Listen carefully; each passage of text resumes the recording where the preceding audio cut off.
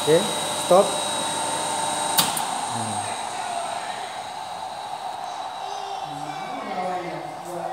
Oke. Coba di start terus cek ininya untuk overload ya.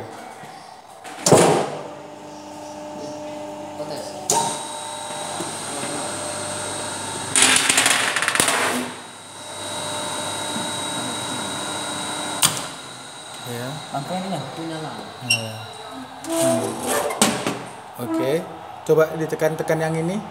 Ada nggak tombol yang ber- ber- berfungsi? Nggak ada ya, berarti oke, udah bagus. Oke, reset. Oke. Coba hidupkan lagi. Power on.